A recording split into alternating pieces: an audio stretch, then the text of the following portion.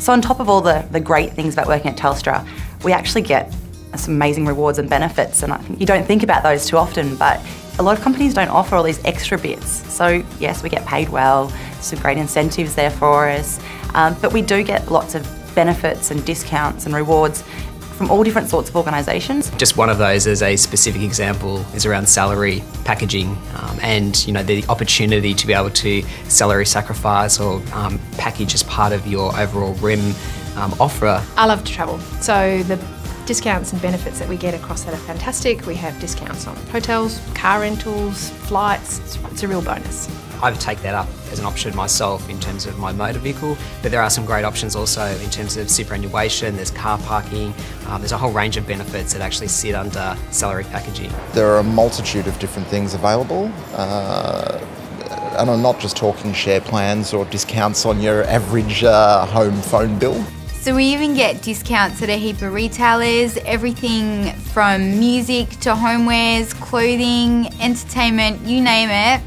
Telstra's got it covered. Well, my husband loves the 5% discount for Bunnings. Um, I think that's his favourite. And, uh, and, you know, I've got two children, so, you know, as a family, there's also bonuses that we can get and on purchases of health insurance and so forth. So, uh, you know, it's all those little things that count and make Telstra such a great place to work. recently launched a new uh, reward and recognition program called Zing. Um, it is available to all employees across Telstra.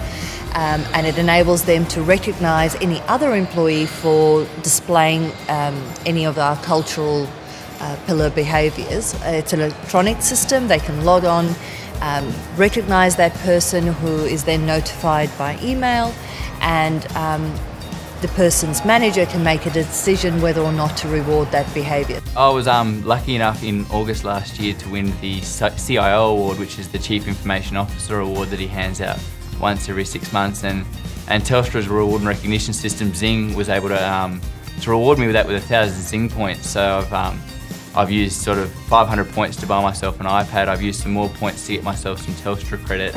Uh, well, we do. We have targets to meet and all that. It is rewarding that we do reach those targets and see it on the board every day. We have a day start meeting and a brief just to see like where we're at and where we should be going. That itself is rewarding. Like I never had that in any other job. It's just come in, do your shift, walk out. Get these sales, hit the targets that you've you've set for yourself. Um, so they put it on you to set it for yourself as well.